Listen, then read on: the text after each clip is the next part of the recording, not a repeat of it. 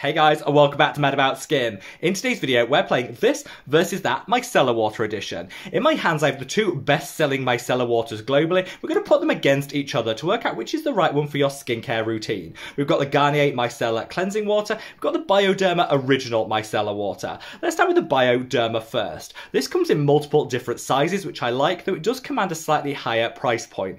It's a beautiful formulation that's really effective at removing dirt, debris, and even stubborn waterproof makeup. It's got a very similar ingredient profile to the Garnier one, but it does also include extract of cucumber water, which is going to calm and soothe the skin. Super effective, though it's not going to reach everyone's budget. When it comes to the Garnier product, I love this. You get a whole lot of product for your money, and it's at a much more affordable drugstore price. It works just as well, and for me, I would always reach for the Garnier. It's cruelty free, just as effective, and it helps you save some of your hard earned coin when it comes to your skincare routine. Take care.